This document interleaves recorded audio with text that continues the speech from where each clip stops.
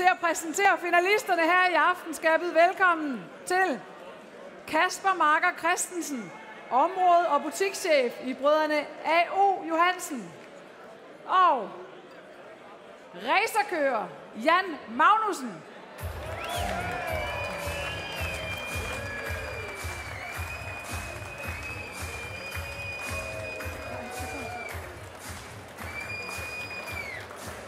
God aften alle sammen.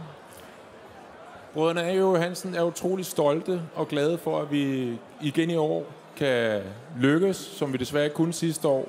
Men igen kan vi lykkes med at kunne fejre alle sammen og give jer den hæder og fortjeneste, I alle sammen følger. Vi var lidt presset i dag, men øh, Jan nåede desværre ind lige i tide. Jamen, øh, tak fordi, at øh, jeg måtte komme og være med. Jeg kommer lige direkte, jeg kommer lige direkte fra Gokartbanen. Tag bare den her. Sådan der. Tak. Jeg kommer lige direkte fra Gokartbanen med min søn, så jeg er sådan lidt uh, underdressed i forhold til jer andre. Men uh, super glad for at kunne være her, og glæder mig til at overrække nogle priser til nogle vinder. Og finalisterne er...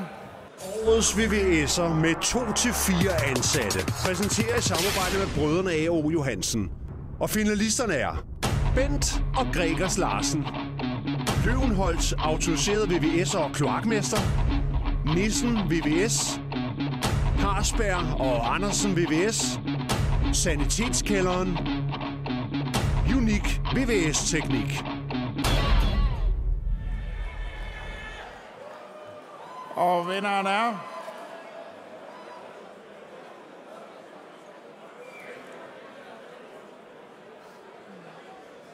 Parsberg og Andersen VVS.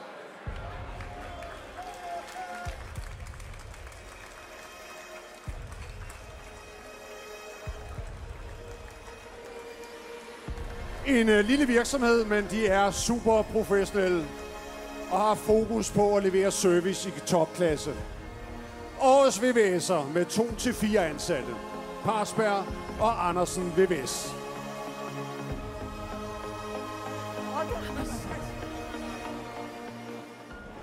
Øh, det bliver lige en øh, kort tak på vegne af Parsberg Andersen. Jeg lovede at hente deres pokal, for der var noget 18-års fødselsdag, der lige skulle afvikles i dag. Så du må hilse dem og sige uh, tillykke med de 18 år, og tillykke med statuetten.